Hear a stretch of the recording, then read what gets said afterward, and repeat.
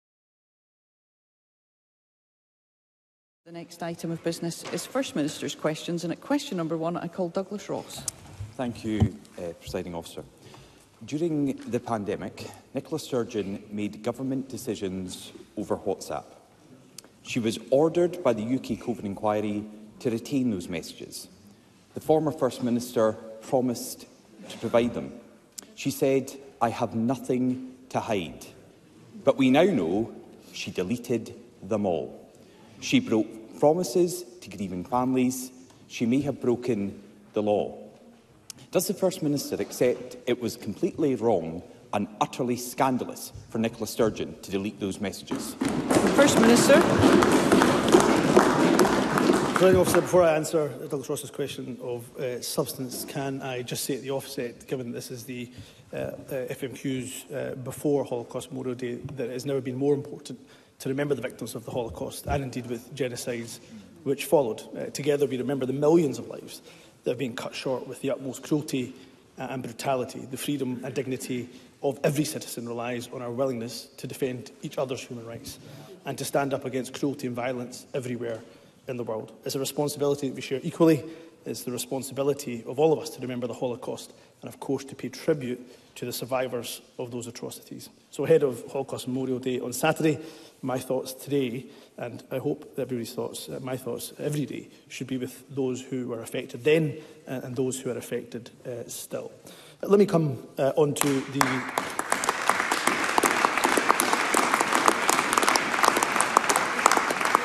Let me importantly come to the issue of uh, substance, and I will start this exchange as I've started exchanges on this issue uh, in recent weeks and months, and that is by giving, first and foremost, an unreserved apology to those families who were bereaved by COVID in relation to our handling of the issue of informal uh, communication, such as WhatsApp. As an organisation on the issue of WhatsApp messages, uh, we did not handle the request in a way uh, that gave families uh, that have been bereaved by COVID uh, confidence. In fact, quite the opposite. And they have asked for nothing unreasonable. They've asked uh, for answers, they've asked for the truth, and I will certainly uh, do that when I appear in front of the inquiry later uh, today.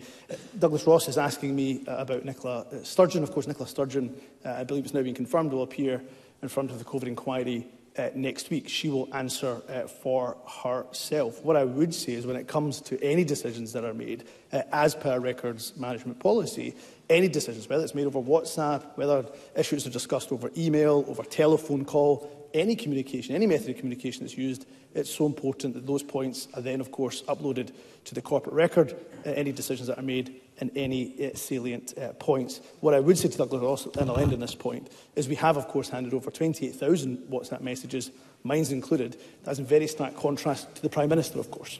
Yeah. Douglas Ross. Uh, can I fully associate myself uh, with the First Minister's remarks ahead of Holocaust Memorial Day uh, on Saturday?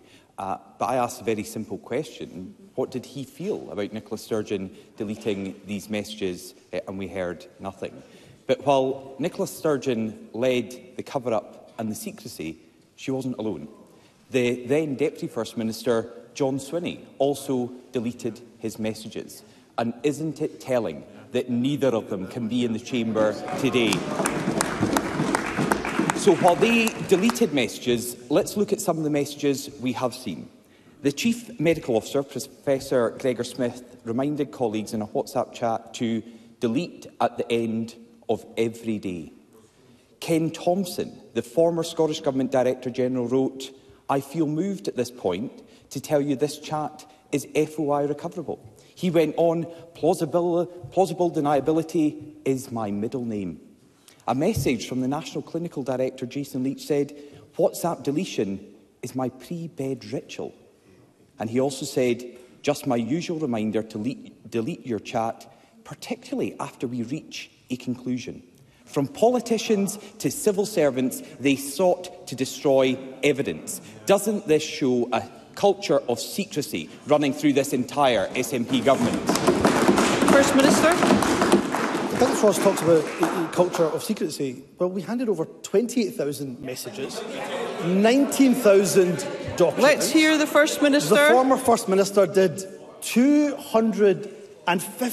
media briefings, taking questions from journalists day after day. That hardly rings true of the accusations that Douglas Ross is making of a government that was hiding from scrutiny. Far from that, every single day, the former First Minister was standing up taking questions. First Minister, that, First Minister, First Minister, there are many members wishing to put questions in this session.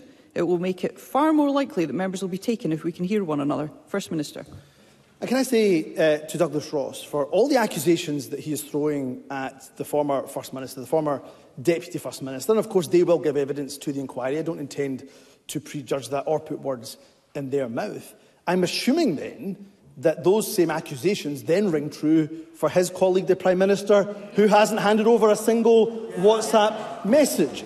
Because if, that if the accusations that he is making against Nicola Sturgeon and that he's, hold, that, he's, that he's throwing towards the former deputy first minister, if he believes that doesn't hold true for the prime minister, who hasn't handed over a single message, then that isn't just political opportunism, it is breathtaking hypocrisy, presiding officer.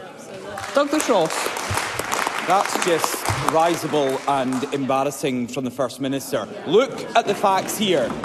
Nicola Sturgeon destroyed all of her messages. She did that deliberately, but some have been recovered from other people. This morning's COVID inquiry session with Liz Lloyd, Nicola Sturgeon's former Chief of Staff, has revealed that COVID decisions were unquestionably made on WhatsApp. There are many examples in her evidence, but let's just take one.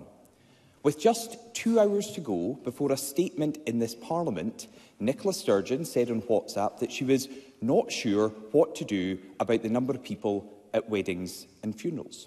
Her Chief of Staff replied, I think as we have only just put them up, we just leave it. I think we stay at 20.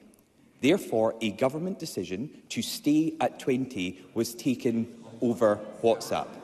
Now, Hamza Youssef, Hamza Youssef has previously said, and I quote, the Scottish Government did not routinely make decisions through WhatsApp. Did the First Minister mislead Parliament when he said that, or did he not realise that Members. government policy... Well, Members! I, I'm we must hear one another. I'm happy to repeat this to SNP members who seem to want to drown this out.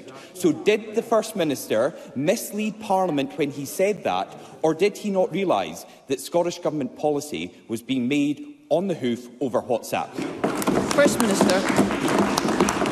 Uh, WhatsApp is a communication application rather than a decision-making tool. Instead, each minister... There, each minister supported by a private office. This team, of course, compromises private secretaries, administrative staff. A private office records the specific decisions of ministers for the official record.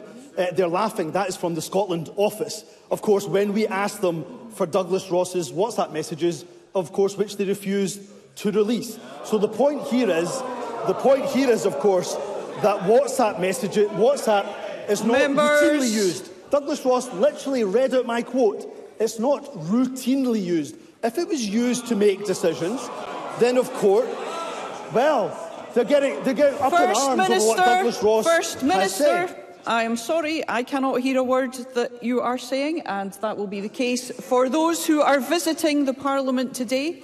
And I would ask all members to remember the requirement to conduct our business in an orderly manner.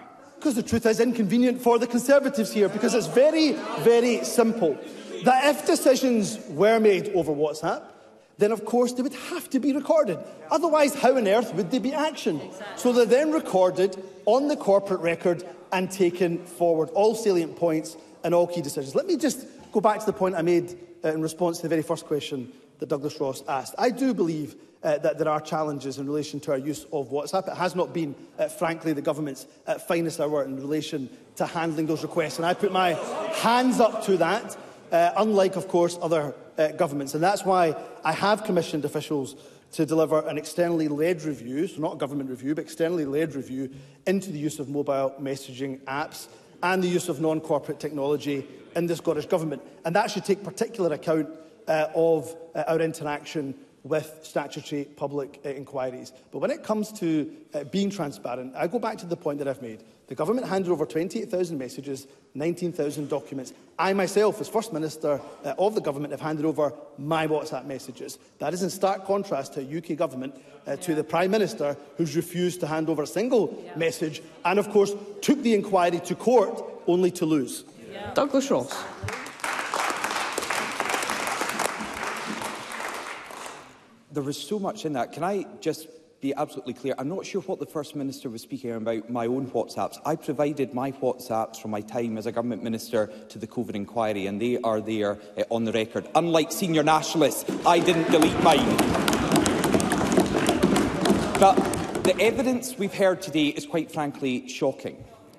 It confirms that pandemic decisions by the SNP were made for political purposes. Yeah. Yes.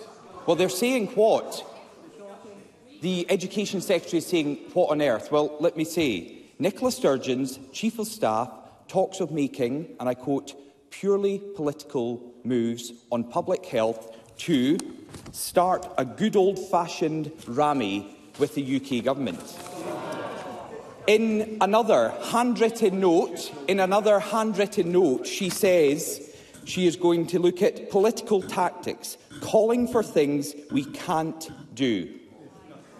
Hiding revelations like this must have been the reason that the SNP government destroyed so much evidence. The First Minister, the Deputy First Minister, the National Clinical Director, the Chief Medical Officer all deleted their messages. Discussions and crucial decisions have vanished. A top-down culture of secrecy was rife throughout this entire government. It looks like the most senior figures have engaged in a deliberate cover-up.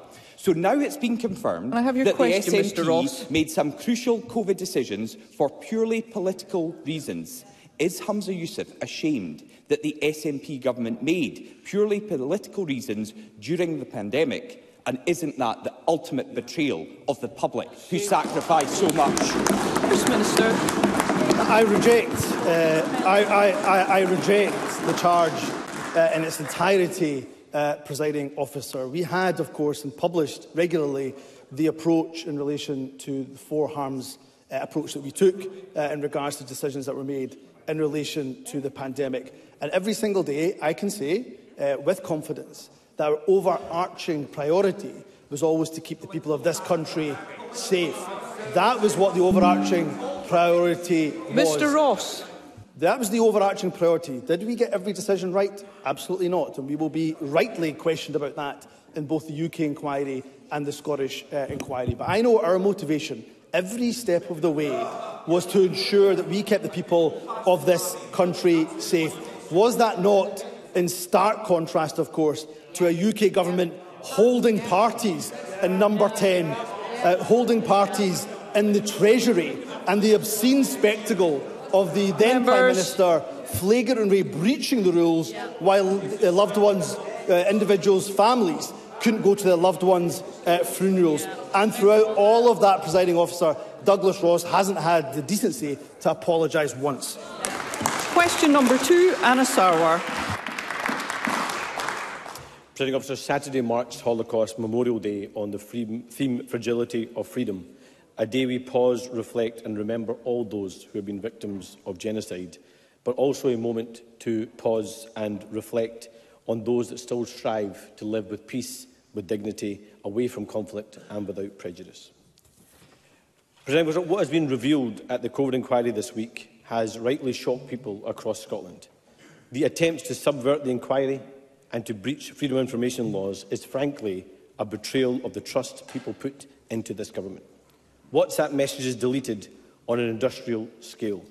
The former First Minister using a private SNP email address for government business. Officials openly joking about breaking the law while the COVID pandemic tore through our country. The culture of cover-up started with the First Minister and extended down to the senior civil service. In June, when I asked Hamza Youssef if, and I quote, all requested emails texts and WhatsApp messages will be handed over in full, he responded in this Parliament without equivocation, yes. Now that we know this wasn't true, was the First Minister knowingly misleading Parliament, or was he so out of his depth he didn't know what, he was, what was going on? First Minister. Of course, we did hand over what we had. 28,000 messages that we have have been handed over. For those officials or indeed former ministers of the government that don't have WhatsApp messages, they will have to account for that in front of the inquiry. But Anna can't say that there was deletion on an industrial scale when 28,000 messages have been handed over to the COVID inquiry. He can't say that I've been leading that from the top when I've handed over all of the WhatsApp messages uh, I have, and no doubt in a few hours, in a couple of hours' time, will be questioned uh, about them.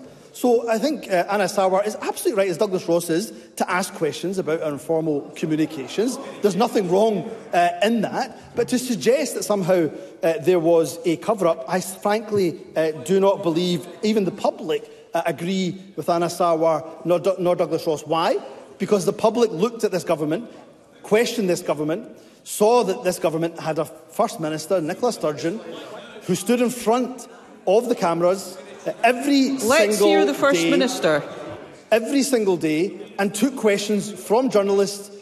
from members of this Parliament, over 250 times. Hardly, hardly the measure or the mark of a government that was trying to avoid scrutiny, presiding officer.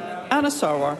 I think the First Minister must live in a parallel universe The First Minister at the time deleted every WhatsApp message. The Deputy First Minister at the time deleted every WhatsApp message. The Chief Medical Officer at the time deleted every WhatsApp message. The National Clinical Director at the time deleted every WhatsApp message. If that is not deletion at an industrial scale, I do not know what planet Hamza Youssef lives in. Now, the First Minister gave an unequivocal commitment to Parliament, but on his watch, ministers and officials failed to comply with do not destroy notices. Key evidence has been deleted and deliberately misleading statements have been given to the press and the public on his watch. One specific issue I raised with Hamza Youssef was the use of private SNP email accounts to conduct government business, something they have repeatedly denied. But evidence of the inquiry this week has blown that claim out of the water. When I asked Hamza Youssef in November if all emails be they government or party emails, will be handed to the inquiry. Again, he said this in this Parliament. As for any other form of communication, including any other email address, it is my full expectation that that is handed over. He is First Minister and leader of the SNP, so can I ask him, have any emails from SNP accounts been handed to the COVID inquiry, and if so, how many? First Minister. Uh, to Anasawa, uh, of course, the, the, the point which I think is fundamental here, the use of a non-government email address such as an SNP uh, email address That doesn't exempt official correspondence from freedom of information requests. Uh, for example, if there's a freedom of information request for a particular, about a particular issue or for a particular document, that is not subverted because it's, it's been sent to an SNP Members. address. Uh, therefore, it should be handed over. Uh, I can give an absolute guarantee when it comes to my SNP uh, email address, no government business was conducted over it. Uh, and of course, in any private, uh, uh, in any private communication uh, application that I have, uh, things, have, uh, messages uh, have been uh, handed over. Not, over. not only have I handed over uh, WhatsApp messages on my private Twitter account, where there's been private uh, DMs uh, that they have also uh, been handed over uh, to. So when it comes to the government, uh, I have made it very clear to every single minister, every single cabinet secretary, the permanent secretary has made it clear to every single civil servant uh, that, uh, regardless of the method of communication uh, that is used, uh, that we must comply with the Public Records Act, with FOI legislation, and indeed with our mobile messaging policy. I go back uh, to the point that I made to Douglas Ross that, regardless of the communication uh, method used, whether it's an e SNP email address or otherwise, any decisions that are made uh, must be recorded in the corporate record, uh, and the salient points, uh, therefore, recorded as well. And we'll continue to comply fully, as I intend to do in a couple of hours' time, uh, with the UK COVID inquiry. Anna Sarwar. This is meant to be a government he's in charge of and a party he's in charge of, but he can't answer for anybody else in government or his party and only goes back to his own messages and his own emails. But this isn't just about the inquiry, this is about how this government operates. Absolutely. Because this is a party that over the last 17 years in government has created a culture of secrecy and cover-up. A culture that goes from the First Minister down. Because the SNP believe that it's one standard for them and another standard for everyone else. Because somehow the rules don't apply to the SNP. They have abused the trust that the people of Scotland put in them. And if they won't take my word from it, maybe they should listen to Caroline Stewart of the Scottish COVID bereaved. She said this, I trusted them. I felt him and Nicola Sturgeon were honest and trying to be open with us, and to find out that that was all just a facade. I don't understand how they can hold their head up high. First Minister, how can you ever expect the people of Scotland to trust you or your party ever again? Always through the chair, please, First I will Minister. always leave the verdict of trust to the Scottish people. And that's why we will comply with not just the UK inquiry, the Scottish COVID inquiry, which of course we instructed. When it comes to transparency, that's why we've handed over 28,000 WhatsApp messages. That's transparency. 19,000 documents. That's transparency. When it comes to what this government has done across a range of portfolios, whether it's the duty of candour, whether it's the patient safety commissioner, that is transparency. Whether it's public inquiries and instructing them, that is transparency, whether it was the former First Minister standing up in over 250 media conferences,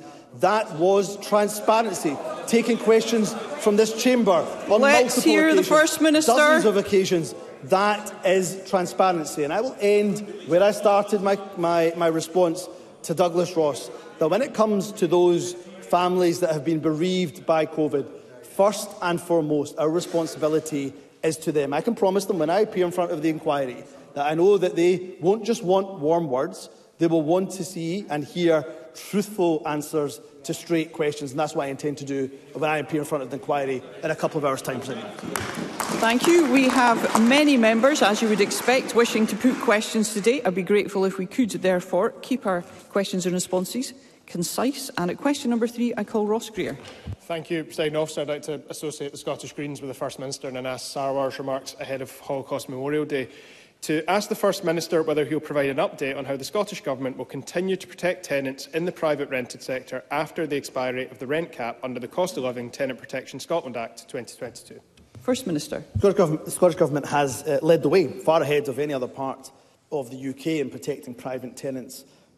against rent rises and eviction during the cost of living crisis.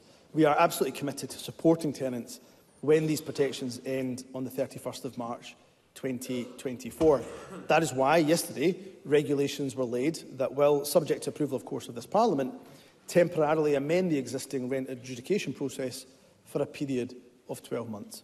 This will help protect tenants from excessively large rent increases that could be experienced if there's a move back to open market rent in a single step, uh, whilst enabling landlords to continue to reinvest in our private rented sector. The Minister for Tenant Rights has written to the Lead Committee with further details. Ross Greer. I thank the First Minister for that answer and for highlighting that the emergency rent protections in Scotland have been far ahead of anything else in the UK, a lead role that Scotland will continue when long-term rent controls are introduced in the Housing Bill very soon. Some tenants watching today, though, may be receiving rent increase notices right now, which are well above the 3% cap. So can the First Minister reassure tenants that the rent cap remains fully in place until the 31st of March and that any tenant receiving a cap-busting rent increase notice before then should challenge that rise? And can I ask what the Scottish Government is doing to make sure that tenants know about and are able to use their rights? First Minister. Uh, yes, I can confirm that the uh, emergency rent cap remains in place until the end of March, so any rent increase notice uh, issued before the 1st of April is very much subject uh, to that cap, even if the, the increase won't apply uh, until after uh, that date. If a tenant receives a rent increase notice above that, uh, they should uh, refer it to Rent Service Scotland, and rent will be set uh, in line with the cap. Uh, I fully agree that tenants need to know their rights uh, uh, and what their rights are and how to act uh, upon them. That's why a national renters' rights marketing campaign will launch very soon uh, indeed, and that will highlight existing rights and the changes when the measures uh, end, uh, when the emergency measures uh, end. That will include online guidance and tools to help people understand how the changes affect them specifically. Uh, the government has taken very clear action, uh, very bold action to support people through the cost crisis. We're determined to build on that and our forthcoming housing bill will set out proposals for longer-term reform of the rental sector and we're committed to working, of course, not just with tenants, that's crucial, but also with responsible landlords and other key stakeholders to ensure the legislation delivers reform uh, that works uh, in reality. Pam Gossel. Thank you, Presiding Officer. The SNP Green rent cap has not only failed to tackle the housing emergency, but has exacerbated it. Rents in Scotland have increased by more than 14 per cent, despite the SNP and Green rent cap. And as a result of the cap, Scotland is only part of the UK where the numbers of properties sold by landlords have gone up. This ill-thought policy has hindered mobility, caused enormous price hikes when people do move, and has reduced the availability of housing by driving landlords out of the market. Does the First Minister agree that his government's interferences in the market has been nothing short of a disaster and will he scrap this cap? First Minister. My goodness, uh, that is the most conservative contribution I think I've ever heard in this chamber. How dare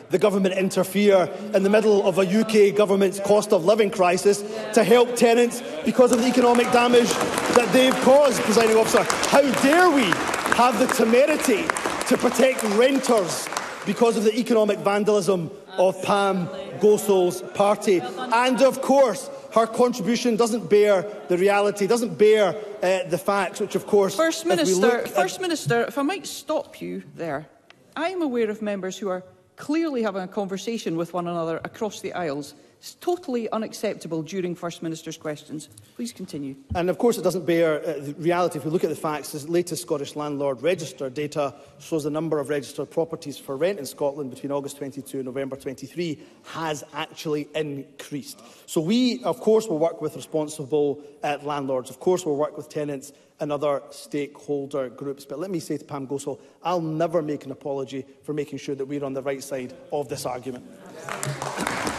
Cab Stewart. Um, the new rent adjudication rules are welcome, empowering private tenants to challenge any uh, unreasonable rent hikes. But for that proposed transition to work as intended, tenants need to be fully informed of those rights. Can the Scottish Government expand on how they intend uh, to ensure that both renters and private landlords across Scotland understand the system that will be in place from April? First Minister. I absolutely agree with that. I think it's uh, vital that both tenants and landlords are made aware of the changes that will come into place from the 1st of April. Tenants understanding their rights and how to act upon them is a crucial part of the changes that we are making to the rent adjudication process, uh, working effectively uh, in practice. That's why we're working, as I'd mentioned, I think to Ross, uh, in response to Ross Greer's, Greer's, Ross Greer's question, on a range of awareness-raising uh, activities and provision of clear guidance to support people through that transitionary period.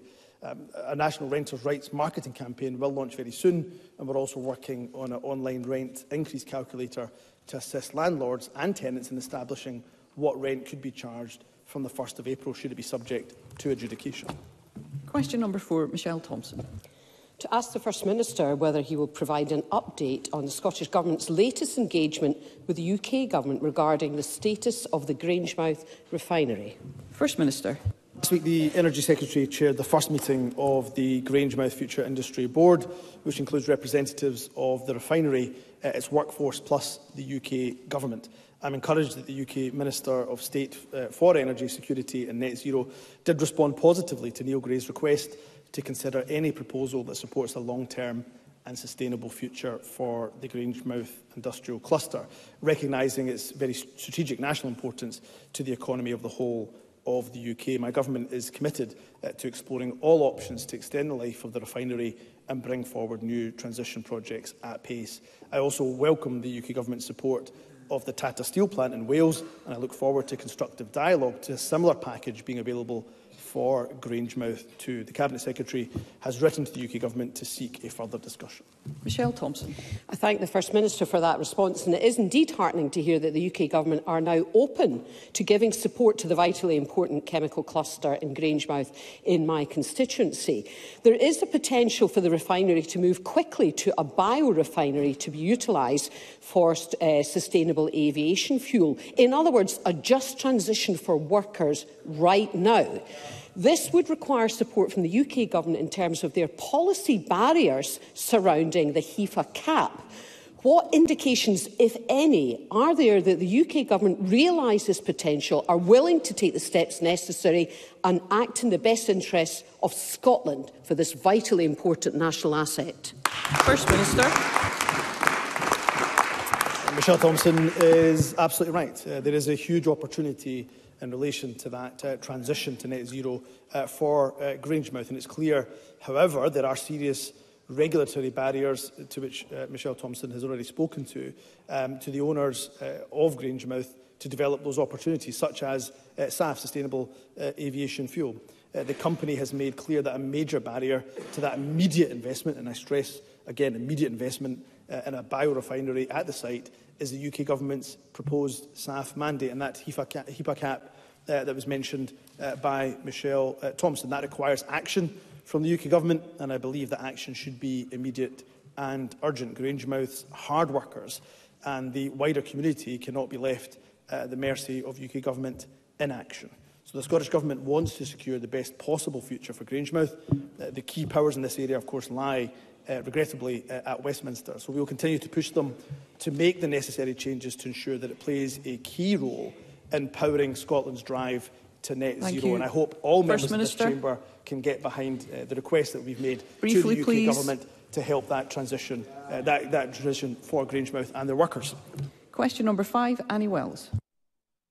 Presiding officer to ask the First Minister, in light of the Scottish Government's plans to open the first safe drug consumption room in Glasgow later this year, what assurances he can provide that other areas of drug policy, including spaces for residential rehabilitation, will not be deprioritised? First Minister.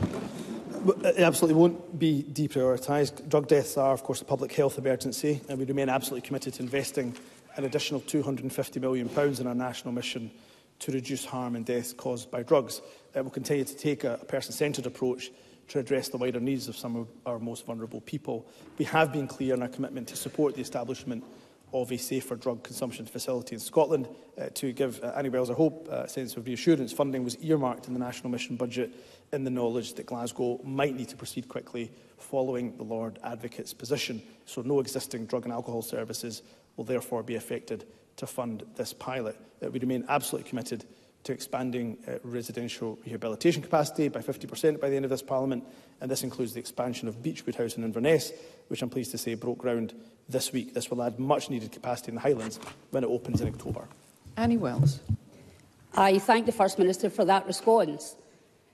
Residential rehabilitation is a vital way of not just helping drug users beat addiction, but to help them get their lives back. And yet the most recent figures show people starting places in these facilities fell to their lowest in the last in more than two years. We know there aren't fewer people addicted to drugs, so why have those receiving this kind of help reduced?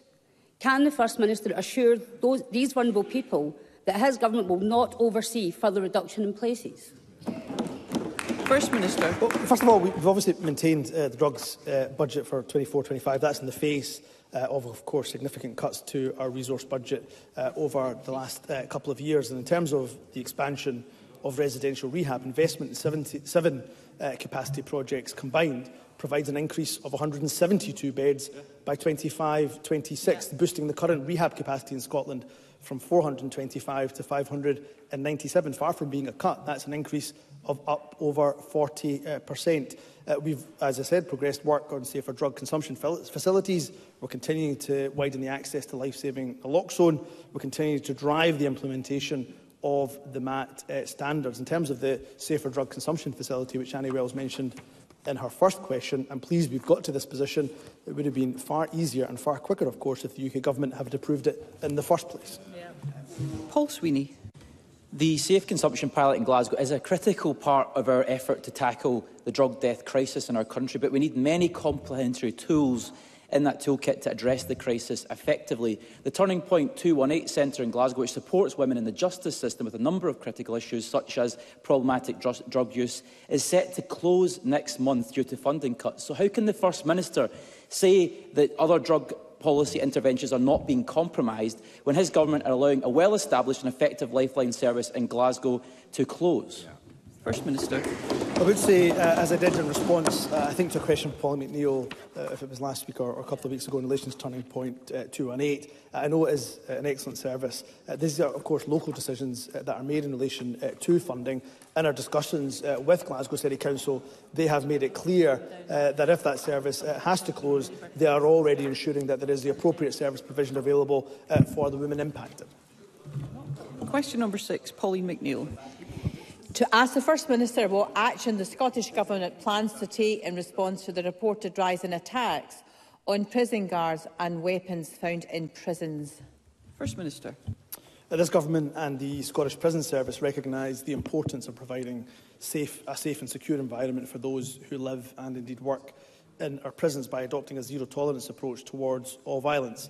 And uh, while the SPS do report an increase in the recovery of weapons within prisons, this is likely to be a result of the positive impact of the mitigations that have been put in place to detect, uh, to deter and reduce the availability of contraband across the prison estate. Uh, the rise also highlights uh, the professionalism of our prison officers, their ability to identify and manage both risk uh, and threat. And whilst every act of violence towards staff is absolutely to be condemned, and I'm sure we'll be united uh, on that, uh, those acts of violence towards staff have reduced by 28% over the last four years.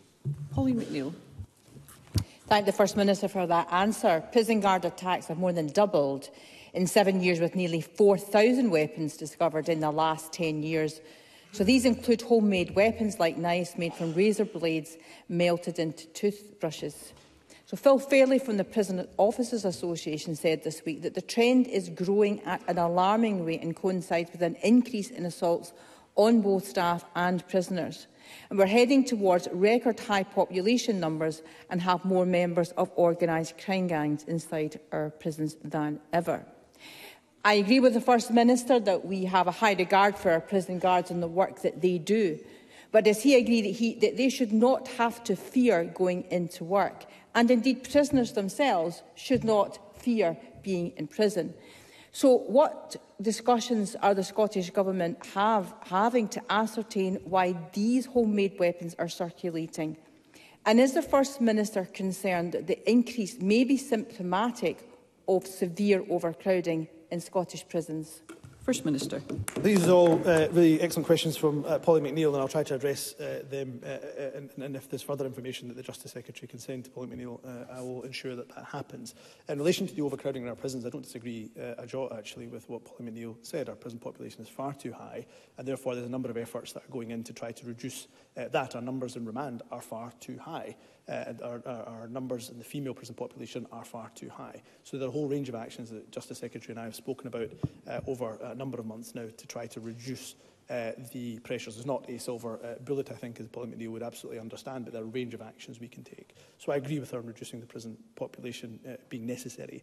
In relation to the actions that we're taking in, in, in regards to, to weapons and contraband into prisons, Again, the Justice Secretary will furnish her with further details, but we are investing uh, in technology such as rapid scan machines uh, and indeed other technology, uh, body scanners uh, and so on and so forth in order to try to detect uh, that contraband coming uh, into our prisons.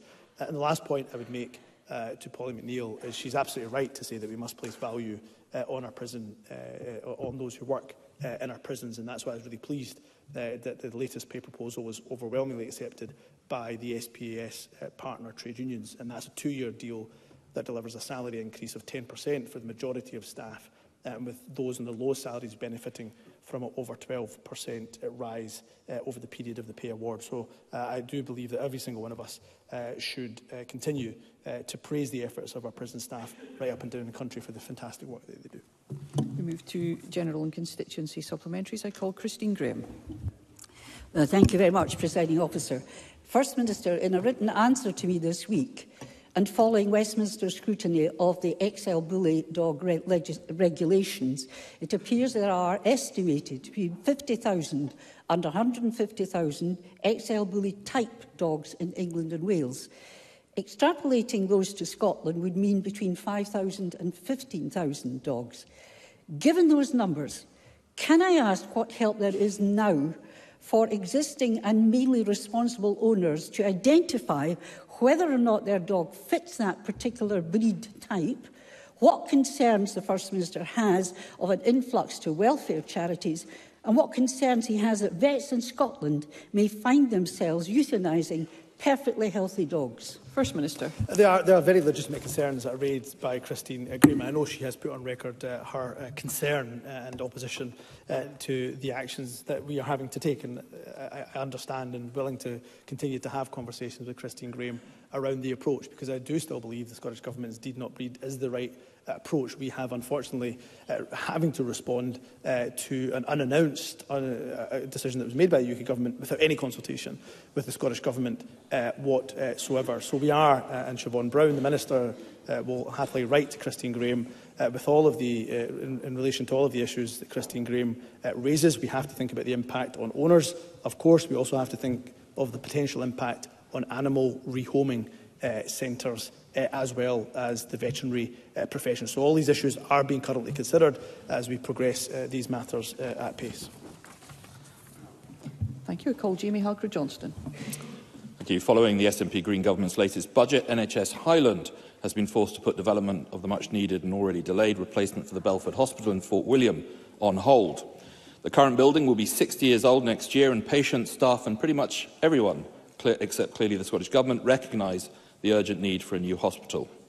So can the First Minister tell me when the people of Lochaber, who have been campaigning for decades for a new Belford, will get the new hospital that they have been promised? First Minister.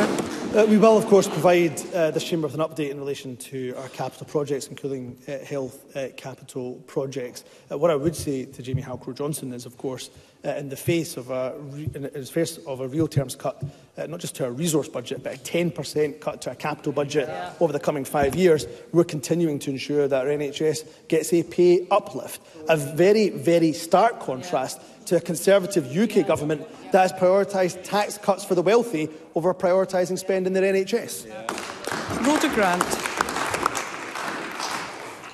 The First Minister will be aware that the A9 North has been closed several times recently, cutting Caithness off from the remainder of the mainland and specialist maternity services.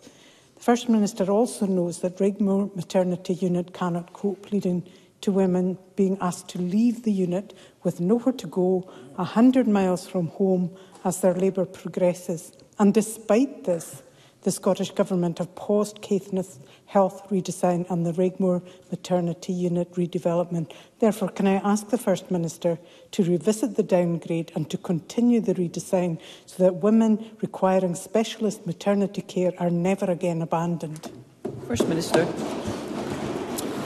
Uh, can I say that the member raises uh, very important points uh, indeed, and I have obviously been involved in this issue when I was Cabinet Secretary for Health and Social Care and know it well. And uh, of course, the member is absolutely correct that, that uh, those uh, refurbishments and construction that, to, to Rigmore is much required and much needed. the Cabinet Secretary for the NHS Recovery Health and Social Care has outlined the very challenging position in relation to capital projects due to the cut that we've experienced in the capital budget uh, from the UK Government over the next five years. But I will confirm to this Chamber that no final decisions have been taken on individual projects in NHS Highland. We absolutely remain committed to the reinstatement of consultant-led maternity services at Dr Gray's Hospital, and any decisions made in relation to Regmore redevelopment uh, will have no impact on the overall uh, plan to return consultant-led services to Dr Gray's uh, by 2026. But notwithstanding all of that, uh, the points that the member raises uh, are important, are crucial, and that's why we key, are keen to update Parliament as soon as we can on our capital infrastructure projects. Stuart McMillan. Thank you, Senior Officer. Would the First Minister provide an assurance that, while budgetary pressures mean the Scottish Government are not currently able to commit to the Empire, Slavery and Scotland's Medium Steering Group's suggestion of £5 million for their work, which includes bringing forward plans for a dedicated space to address Scotland's role in, in empire, colonialism and also historic slavery, that this has not been ruled out for the future and that consideration will be given to locating such a facility in my Greenock and Inverclyde constituency, given its links with the transatlantic slave trade. First Minister. The Scottish Government has allocated £200,000 uh, in this year's uh, budget to support the ongoing work related to empire, slavery and Scotland's museum recommendations. Uh, we will all work towards the recommendations published by the steering group. Uh, we will support the building of an effective, resilient organisation which contains the necessary skills to identify and acquire additional funding streams to allow this crucial work to progress uh, and develop over the coming years. The location uh, I know of uh, any facility, of course, uh, remains uh, to be determined, determined. But I hope Stuart McMillan uh, will take some comfort uh, from the reassurances of the importance that we place uh, on uh, the Empire Museum. And Miles Briggs. It is over uh, three years since SNP ministers cancelled the new eye pavilion hospital replacement in Edinburgh, a decision the former First Minister agreed to U-turn on during the 2021 Holyrood election, pledging to build a new hospital during this Parliament. Can I ask the First Minister if he will keep that pledge to patients in Edinburgh and the south east of Scotland?